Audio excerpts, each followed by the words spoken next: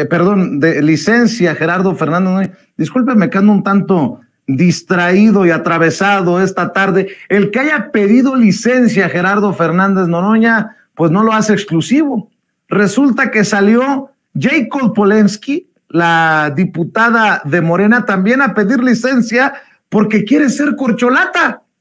La morenista Jacob Polensky se destapó también para buscar la candidatura a la presidencia de la República y para ello solicitó licencia como diputada federal ante la comisión permanente a fin de participar en la encuesta interna. De esto le vamos a preguntar más adelante a Mario Delgado, presidente nacional de Morena. Esto es lo que dijo Jacob Polensky. Pido licencia a mi cargo de diputada porque muchos compañeros, diputados, diputadas y muchos militantes así me lo han pedido. Y creo es una obligación con ellos. Eh, quiero participar en este trabajo para participar por la encuesta para lograr el cargo de coordinador de defensa de la transformación.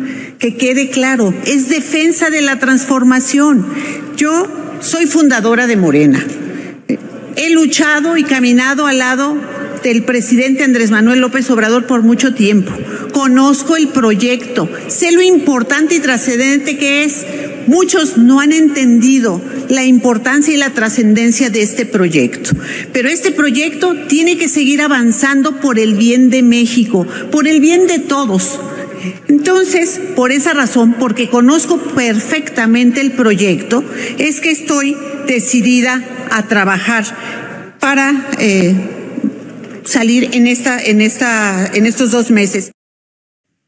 Bueno, pues ahí está el anuncio que sorprende, eh, el de Jacob Polensky, eh, precisamente hoy en la permanente en el Senado de la República.